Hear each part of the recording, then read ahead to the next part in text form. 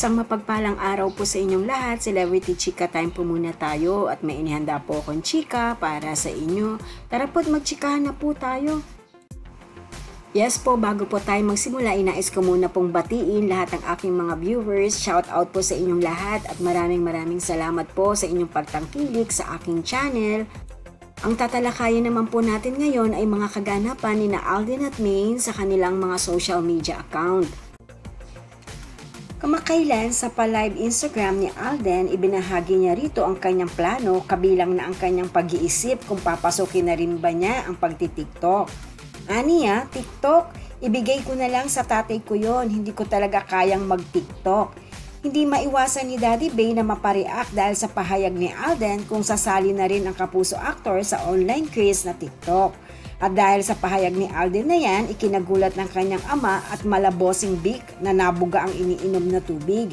At sa pamamagitan ng Instagram account ni Daddy Bay, kanyang ibinahagi ang kanyang funny reaction sa sinabi ng pambansang Bay tungkol sa pagtitiktok. Panuorin po natin. Shawi, Shawi Dave, TikTok. Bigay ko na lang sa tatay ko yun. Hindi ko talaga kaya mag-TikTok. O di ba nakakatuwa ang reaksyon ni Daddy Bay dahil pinapaubaya na ni Alden sa kanya ang pagtitiktok. At napakomment pa ito sa post na yan ng kanyang ama at kanyang sinabi, Buahaha, dito ako natawa. Lakas din mag-asar ni Tisoy sa kanyang Daddy Bay at inihit pa ito ng kakatawa. Well, mukha nga naman kasi nahihilig kanyang Daddy Bay sa pagtitiktok. Ay naku Alden, minsan naman subukan mo ding mag-tiktok. Baka kapag nasubukan mo eh, magustuhan mo at baka malampasan mo pa si Daddy Bay niyan. Hehe. In fairness, marami ang masisihan yan kapag may TikTok ka na. Panigurado niyan, marami ang magpa-follow sa'yo niyan. Tignan mo nga si Daddy Bay at enjoy na enjoy.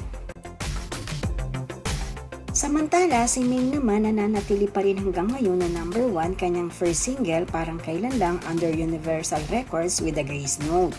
Nakakatuwa at pang 18 days na itong namamayagpag. At syempre dahil na rin sa kanyang mga tagahanga kung kaya't laging pasok ito sa top 10 at nangunguna pa. Sa araw-araw na lang ay nakabantay kanyang mga tagahanga na walang sawang boat ng boat. Well, ganyang katindi full support at pagmamahal ng mga tagahanga ni Mengay sa kanya. At eto pa, nagtrending ang pa-hashtag MyMixBJ Main Day 5 sa Twitter. Kaya naman very thankful ang Mix Philippines sa lahat sa araw-araw na pagtutok kay Main sa mix shows. Nakakuha ng 5,000 tweets ang pa-hashtag na yan. Well, si Main Pabay talaga namang walang kakupas-kupas pagiging trending queen. Kahit ano yata tungkol sa kanya ay asahan mong magti-trending at dahil din yan sa kanyang mga tagahanga na laging nakasuporta sa kanya. Yan po ang aking chika updates for today. Salamat po sa inyong panunood. Huwag po kalimutang mag-subscribe. Pwede po mag-comment sa ibaba. Basog lamang po hearts so nakakasakit sa isa't isa. Salamat po muli. Spread love, not hate.